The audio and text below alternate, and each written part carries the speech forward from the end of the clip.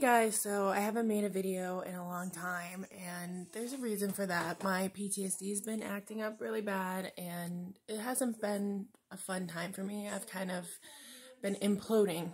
Um, that happens a lot with PTSD. Actually, I've been breaking out in night sweats. I can't sleep. I'm having nightmares. I'm literally pouring sweat all day and haven't been able to figure out what my triggers are, what's going on. And honestly, it's just from being detached from a lot of toxic people who had me believing that I was okay when I wasn't. And you get brainwashed from people. And when you're dealing with traumatic situations, you often shut off the brain part that tells you, you know, it's not okay. And then once you're back in a healthy situation, which luckily I am, um, I don't have anybody holding me down saying I have to deal with the toxic situations. So now I'm almost detoxing myself with the PTSD, and it's been really hard, but I'm making it. Some days are better than others. Well, on top of that, I started to drink quite heavily again. Um, it's something that I've always kind of struggled with since I was a young girl. It's something that has been a coping mechanism. And now that I'm going to be 28, it's completely legal to get. It's easy, you know, but a lot of times I feel like we put a lot of weight on drinking and being drunk to fix our problems. When it doesn't, it usually heightens the problems and we don't really notice it. And it's a problem, obviously. so today is day one of me reining in my drinking. So for a while, I'm going to stop. I'm going to quit.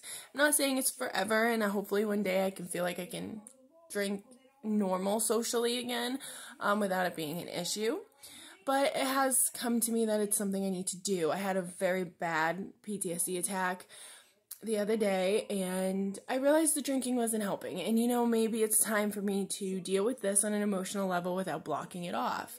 And so that's what I'm going to be doing. I'm going to make a little video like this every day to kind of track the progress and how I'm feeling each day and share with all of you what it's like to quit drinking, even if only for a short period of time. Like I said, I think it's very healthy for us mentally to do anyway. I've done it before because I used to be way worse than I am now, and I think it's important to do that. So, as things happened today, it wasn't a bad day. I actually haven't felt bad.